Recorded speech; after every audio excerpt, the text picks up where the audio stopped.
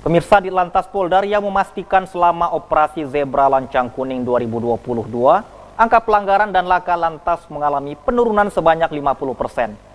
Untuk jenis pelanggaran didominasi tidak memakai helm SNI dan tidak mengenakan safety belt.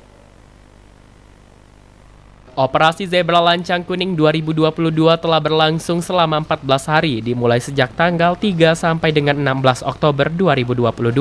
Dari data Ditlantas Polda Riau telah mengevaluasi hasil operasi Zebra Lancang Kuning dengan melakukan penindakan teguran sebanyak 13.469 kasus.